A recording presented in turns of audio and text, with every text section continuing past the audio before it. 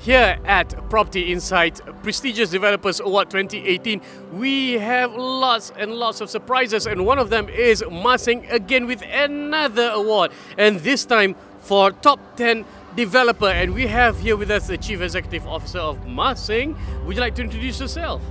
Uh, hello, I'm uh, Ho from uh, Mah Sing. I'm the CEO of the group. Thank you.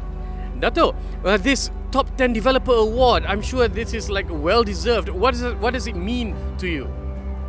It means a lot uh, to us. First of all, thank you, uh, Property Insight, for uh, organizing this event and uh, also uh, has chosen us to be one of the top 10 developers.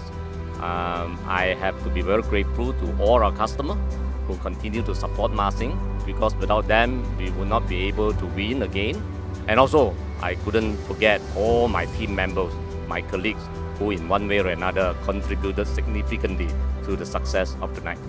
Well, Mah Sing is certainly one of the most successful developers in the country. Congratulations once again. What do you think of tonight? What do you think of Property Insight Prestigious Developers Award 2018?